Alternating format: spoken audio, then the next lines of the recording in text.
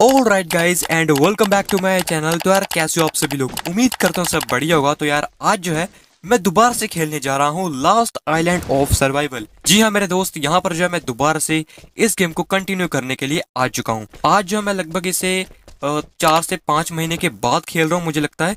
Last time मैंने इस game को लगभग 2023 के दिसंबर के मंथ में खेला था। और अब जो है मई 2024 चल रहा है। तो लगभग चार से पाँच महीने का गैप तो आ ही चुका है। अभी यहाँ पर मेरे हाथ की सेटिंग वगैरह सब कुछ बिगड़ चुकी है तो मैं बस थोड़ा इस सर्वर के अंदर हाथ गर्म करने के लिए जंप किया हूँ। बाकी देखते हैं भाई इस सर्वर को मैं कंटिन्यू करूँगा या फिर नहीं, मुझे नहीं पता। अगर सर्वर मेरा अगर ठीक ठाक चला तो भाई देख लेंगे। अगर एम ही जाएगा तब तो फिर मेरे को लीव मैं कर ही दूँगा इसे। फिर दोबारा से एक अलग से वीडियो बनाऊँगा किसी दूसरे सर्वर की। अभी जो मैं फ़िलहाल डॉन आइलैंड का मैप खेल रहा हूँ और यहाँ पर मैं एक डेजर्ट वाले एरिया में स्पोन हो चुका था, मेरे को नाम का तो नहीं पता है, लेकिन अपने को फ़िलहाल के लिए लाइट हाउस के पास जाना पड़ेगा और वहाँ पर जाकर अपने को एक टेम्परेरी बेस बनाना है मतलब कि छोटा सा, मेन बेस अब मैं अपना रॉकेट के पास ही बनाऊँगा।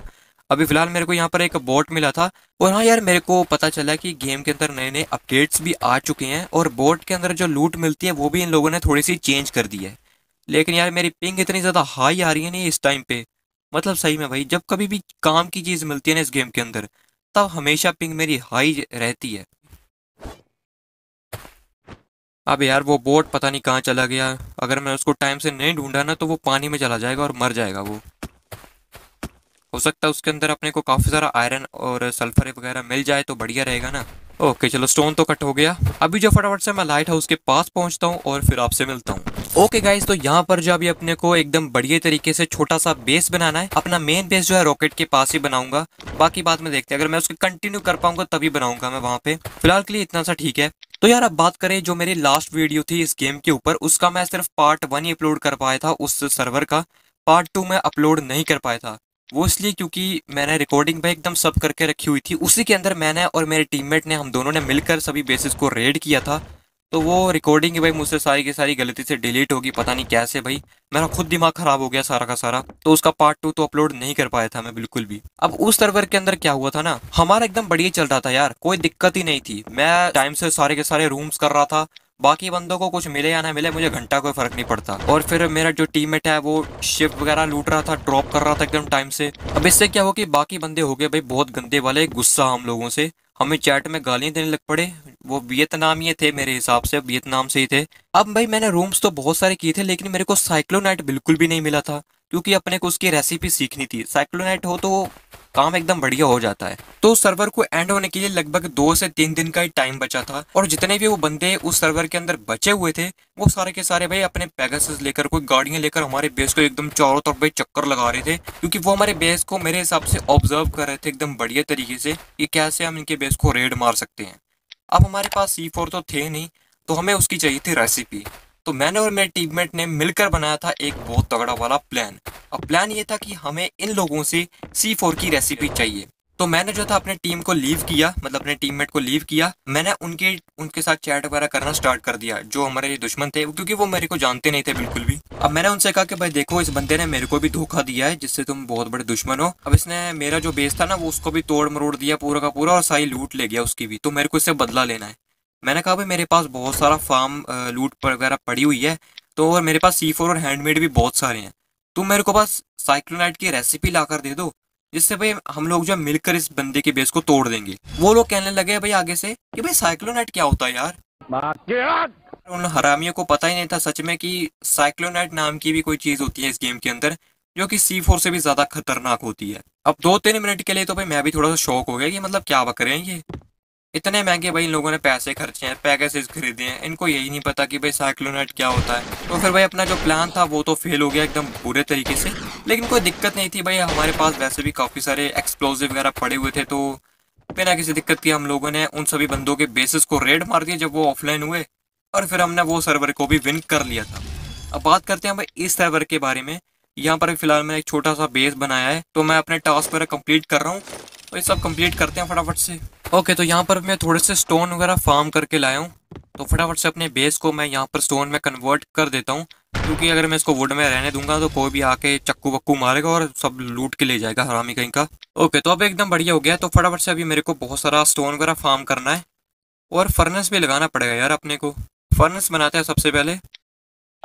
ओके ये लो बन गया। स्टोन को रखो वापस अंदर।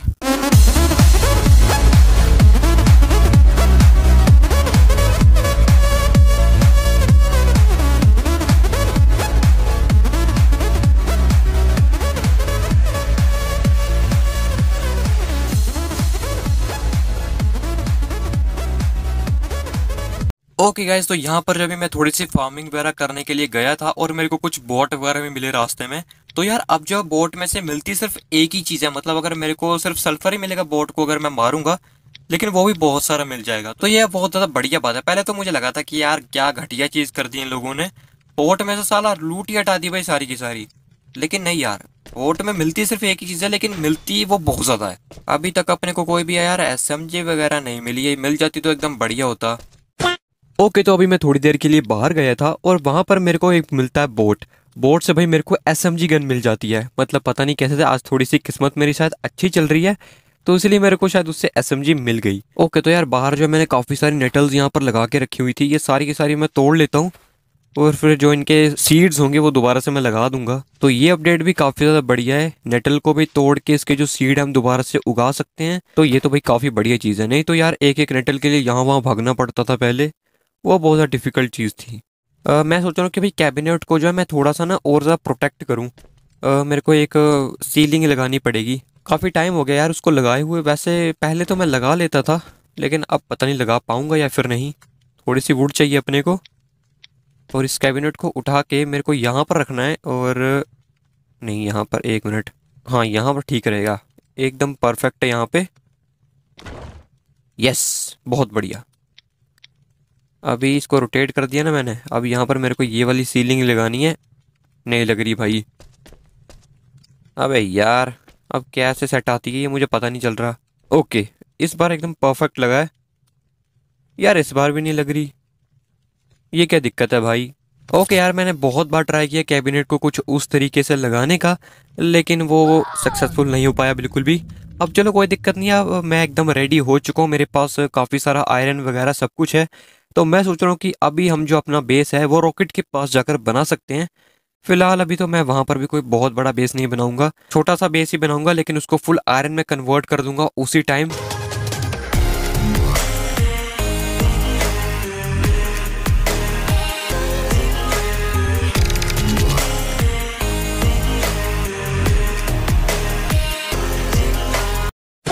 ओके गाइज़ तो यहाँ पर साइकिल का पेंडल मारते मारते मैं पहुँच चुका हूँ सी के एकदम किनारे पर। अभी मेरे को ये सी को तैयार कर पार करना पड़ेगा। ज़्यादा एरिया नहीं है भाई थोड़ा सा ये जगह है, यहाँ पर तैर कर जाना पड़ेगा अपने को, लेकिन यहाँ पर भी थोड़ा सा खतरा है, क्योंकि वो पेट्रोलियम वाले जो शिप होते हैं ना, वो यहीं पर घूमते रहते हैं। तो उनसे बचते बचाते अपने को यहाँ पर जाना पड़ेगा। तो अभी मैं एकदम फुल पावर मोड अपना ऑन कर लेता हूँ।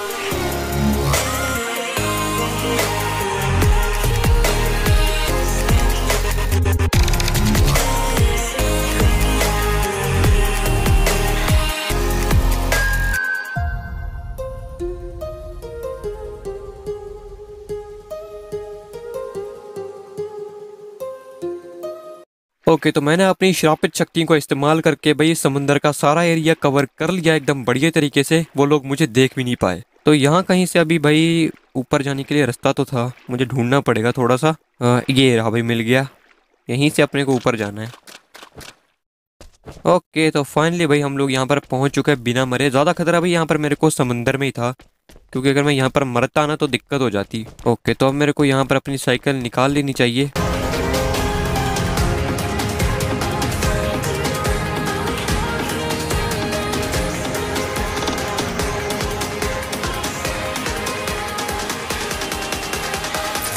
ओके गाइस तो यहाँ पर अभी मैं रॉकेट के पास तो पहुँच चुका हूँ। फ़िलहाल यहाँ पर भाई कुछ भालू वगैरह घूम रहे हैं तो मुझे इन्हें मारना पड़ेगा, क्योंकि यहाँ पर मैं अपना बेस बनाने वाला हूँ। फ़िलहाल मुझे लगा था कि यहाँ पर काफ़ी सारे लोगों के बेस वगैरह बने होंगे, लेकिन अभी तक तो यहाँ पर सिर्फ़ एक ही बंदे का बेस है, और उसका भी मेरे को रिपोर्ट में नाम शो नहीं हो रहा। पता नहीं क्या दिक्कत है।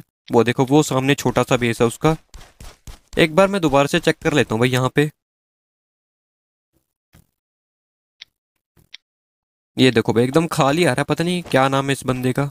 चलो छोड़ो, मैं अपना एक छोटा सा बेस यहाँ पर बना देता हूँ। लेकिन यार मेरे को समझ में नहीं आ रहा कि मैं यहाँ पर एक छोटा सा मतलब किस तरीके का बेस बनाऊँ। मैंने सोच के तो रखा था, अभी मेरे को स्टार्टिंग उसका पता नहीं चल रहा भाई। नहीं नहीं भाई, ये तो बहुत नीचे हो गया। ऐसे काम नहीं चलेगा। ओके तो पूरे के पूरे आधा घंटा बर्बाद करने के बाद मैंने कुछ ऐसा बेस बनाया भाई। मेरे दिमाग में भाई यही चीज़ आई तो मैंने यही बना दी। वैसे इसको मैं थोड़ा सा डिफरेंट बनाना चाहता था, लेकिन मेरे को समझ में नहीं आ रहा था अभी उसको कैसे बनाते हैं, लेकिन फिर मैंने यही बना दिया यार। और वैसे भी, ये भी मैंने फुल आयरन में कन्वर्ट कर दिया तो इसके रेड होने के चांसेस बिल्कुल ज़ीरो परसेंट हैं, फ़िलहाल के लिए तो। तो मैं सोच रहा हूँ कि यहाँ पर अभी मेरे को ग्रीन रूम कर लेने चाहिए, जहाँ तक मुझे लगता है। ओके गाइस तो यहाँ पर अभी जो पर्पल रूम अवेलेबल है ना, मैं इस पर एक बार चेकआउट करके आता हूँ। एडवांस है, मुझे चेस्ट तो अवेलेबल पड़ी हुई है, ये देखो भाई सामने है। लेकिन मैं इसको तोड़ नहीं सकता यार, बिल्कुल भी हद है। यार क्लिच विलिच करके क्या मैं रूम के अंदर जा नहीं सकता, बिल्कुल भी? और लूट वूट करके बाहर भी आ एकदम बढ़िया तरीके से। लेकिन चलो, कोई दिक्कत नहीं है। अभी यहाँ पर जो दो ग्रीन रूम अवेलेबल है ना, वहाँ पर भी लूट है।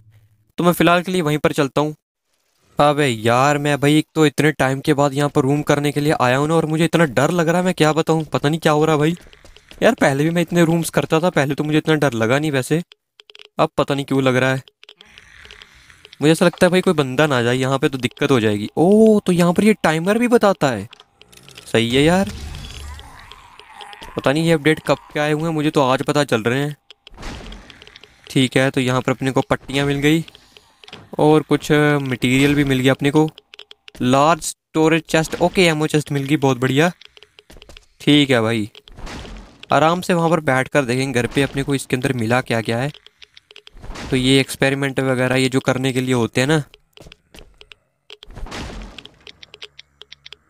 ओके तो चलते हैं बाहर। अभी जो दूसरा रूम है, मेरे को वो भी करना है वहाँ पे। ओके तो यहाँ पर भी चलते हैं बाहर को। लेकिन अभी जो अभी यार मेरे पास ना वो नहीं है बिल्कुल भी। लेवल टू का मास्क नहीं है मेरे पास।